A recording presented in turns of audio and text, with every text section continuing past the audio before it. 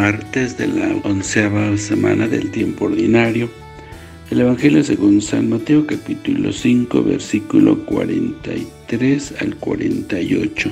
En aquel tiempo Jesús dijo a sus discípulos, han oído que se dijo, ama a tu prójimo y odia a tu enemigo. Yo en cambio les digo, amen a sus enemigos, hagan el bien a los que los odian y roguen por los que los persigan y calumnian, para que sean hijos de su Padre Celestial que hace salir su sol sobre los buenos y los malos, y manda su lluvia sobre los justos y los injustos.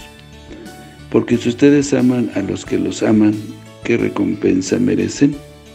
¿No hacen eso mismo los publicanos? Y si saludan tan solo los hermanos, ¿qué hacen de extraordinario? ¿No hacen eso mismo los paganos?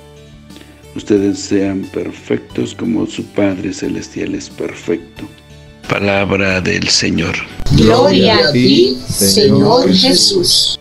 En el Sermón de la Montaña sigue Jesús contraponiendo la ley antigua con el nuevo estilo de vida, esta vez en, en cuanto al amor a los enemigos. La primera consigna, amarás a tu prójimo, sí que estaba en el Antiguo Testamento. La segunda, odia a tu enemigo, no la encontramos en ningún libro pero se ve que era la interpretación popular complementaria a lo anterior. Jesús corrige esta interpretación, sus seguidores deberán amar también a sus enemigos, o sea, a los que no sean de su familia, o de su pueblo, o de su gusto. Saludar a los que los saludan, lo hacen todos. Amar a los que nos aman es algo espontáneo, no tiene ningún mérito. Lo que ha de caracterizar a los cristianos es algo extraordinario. Saludar a los que no nos saludan, amar a los enemigos, hacer el bien a los que nos aborrecen. Jesús pone por delante como modelo nada menos que a Dios. Así serán hijos de su Padre, dice Jesús, que hace salir su sol sobre malos y buenos, y manda la lluvia a justos e injustos sean perfectos como su Padre Celestial es perfecto. Con estas palabras termina Mateo este capítulo para indicar con claridad que ser cristiano es algo totalmente distinto a todo lo demás. No se trata pues de una filosofía ni de una religión en sí misma, sino de un estilo diferente de ser, de vivir y de pensar. El ser bueno con los que nos tratan bien, el orar por los que son parte de nuestra familia, el llevar buenas relaciones con los que nos corresponden en el trato no tiene ningún mérito. Esto es la manera normal de comportarse. El cristiano es diferente y esto es lo que llama la atención de los demás. Cuando nuestra oficina o nuestro medio nos encontramos con personas difíciles de tratar, cuando nuestro propio jefe nos hace la vida pesada, es precisamente el momento de mostrar nuestra vida en Cristo.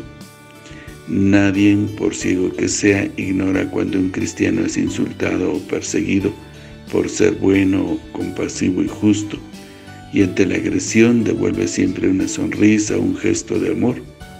Nadie pasará desapercibido el semblante sereno y pacífico de aquellos que viven en el amor de Dios y no dan cabida al odio y al rencor. El que mejor ha imitado a Dios Padre es Jesús mismo. Si por alguien mostró preferencia fue por los pobres, los débiles, los marginados por la sociedad y los pecadores. Y al final entregó su vida por todos y murió perdonando a los mismos que lo crucificaban. En nuestra historia de cada día, caben por desgracia la distinción de personas por simpatía o por interés, las rencillas e indiferencias sostenidas, o el rencor hacia quien nos parece que no nos mira bien. Tenemos un campo de examen y de propósito de leer estas recomendaciones de Jesús. Debemos superar lo que nos resulta espontáneo, poner buena cara a los amigos, mala a los que no nos resultan simpáticos, y actuar como Dios, que es Padre de todos y manda su sol y su lluvia sobre todos. Nosotros no le daremos lluvia a nadie, pero sí le podemos ofrecer buena cara, acogida, ayuda y palabras amables, y cuando hagan falta, perdón.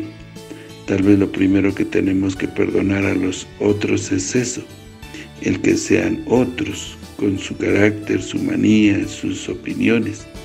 Nos encontramos con personas de otra cultura, edad y formación, y a veces de raza y de situación social diferentes.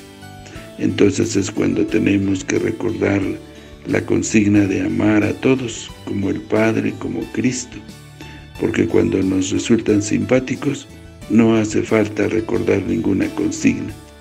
El gesto de paz que hacemos antes de ir a comulgar, lo restringimos mentalmente solo a los amigos y los que congenian con nosotros, o lo entendemos como gesto simbólico de que a lo largo de la jornada pondremos buena cara a todos. Jesús no nos dio opciones, pues dijo, sean perfectos, y la respuesta es tuya. Que el Señor los bendiga.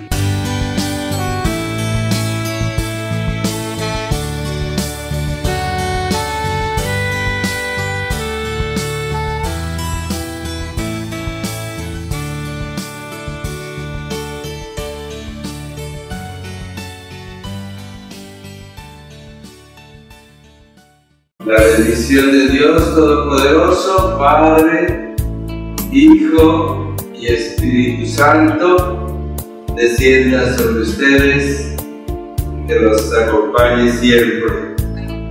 Que el Señor los bendiga.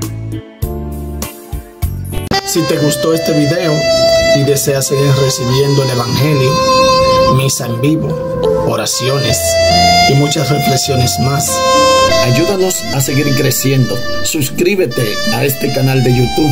Activa la campana de notificaciones. Deja tu comentario. Dale me gusta. Y compártelo con todos tus seres queridos. Que el Señor te bendiga a ti y a toda tu familia. Bendiciones.